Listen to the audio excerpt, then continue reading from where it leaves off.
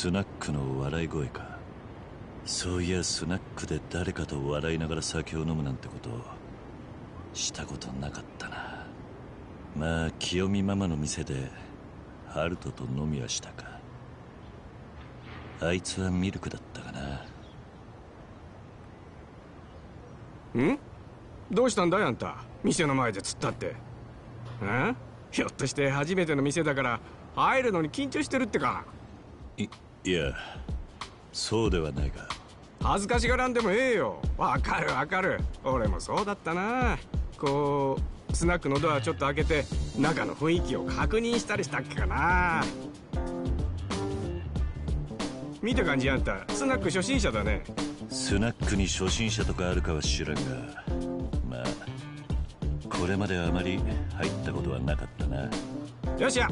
これも何かの縁だ僕も一緒についてってあげるから。さあ行こ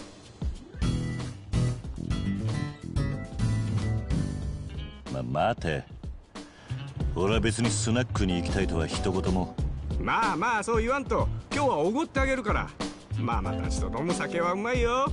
酒仲間は多い方がいいんだ。ほれほれ。まあ一杯くらいならいいかもな。よしよし。じゃあ行こう。前後は急げだ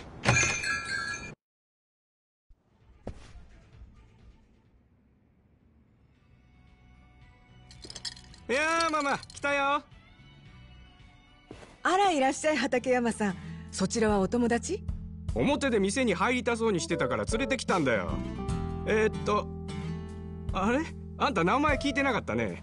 ああ俺は桐生一馬だ。桐生さんか。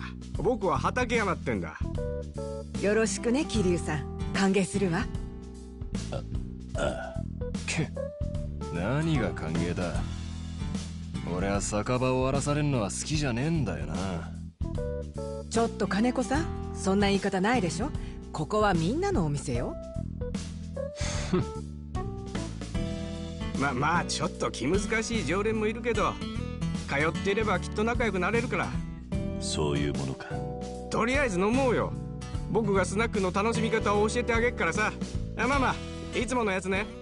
桐生さんにも同じやつ。はーいじゃあスナックの極意ってやつを桐生さんに伝授しちゃおうかな あんまり変な先輩風吹かせないようにね。わ分かってるよ。僕は親切で言ってるの。それに桐生さんが常連になったらママだって売り上げ上がるんだよ。それもそうね。畠山さんしっかりうちの魅力を伝えるのよ。おおうまあとにかくスナックのいいとこってのはいろんな人と楽しく話して酒が飲めるってことだねたまにみんなで集まってワイワイ話し込んだりする時もあるんだよ。ほう。みんなでワイワイ。あれは結構楽しいわよね。だいたいしょうもない話題なんだけど。うんうん。桐生さんもみんなと仲良くなって輪に入れるようになったら盛り上げてくれよ。うん。分かった。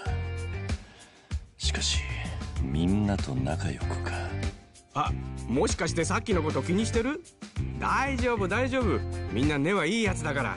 そうそう気にしちゃダメよ。うちの常連たちはちょっと不器用なだけなの。ね金子さん。うるせえな。いずれ桐生さんも馴染むさ。それにこのお店はカラオケとかダーツもあるのよ。そういうので仲良くなることもあるかもね。ああ源さんとかカラオケ好きだもんね。ねなかなか賑やかな店だなまあ客はおっさんばかりだけどね。そのおっさんどもはやっぱりあれか？ママを狙ってたりすんのか？うん確かにママは美人だけどね。なかなかなびいちゃくれねえんだ。ほう。ほらあそこにソファーがあるでしょ？あのソファーの中心席はいわばスナックの玉座。認められた男しか座れないんだ玉座。そう。このスナックにおけるヒエラルキーの頂点に君臨しない限りあそこで酒は飲めんそれすなわちスナックの全員に認められる。キングオブスナックを意味するのさ。キングオブスナックか。まあ特にママに認められるっていうのは大変かもね。なんせ何考えてんのかわからんのよ。気さくでいい人なんだけど腹の底が知れないんだ。トップクラスの常連客しか心を開かないって噂も畠山さん全部聞こえてるからね。あいやこれは僕の考えじゃなくて世間一般的にそのまた玉座から遠のいてしまった。マジか。ままあ桐生さんもあの玉座を狙うってんならまずはみんなと打ち解けていくところから始めるんだな。なるほどな。とりあえずいろんな客に話しかけてみりゃいいのかまあそうだね。コツコツ輪を広げていけばきっといろいろいいこともあるさ。さっきも言ったけどみんな結構いい人たちだし桐生さんが困ってたら力になってくれるかもよ。そうか。今日はありがとな。うまい酒が飲めたぜ。また飲もうね桐生さん。いつでも待ってるわよ桐生さん。畠山さんは後でちょっとお話があります。ははい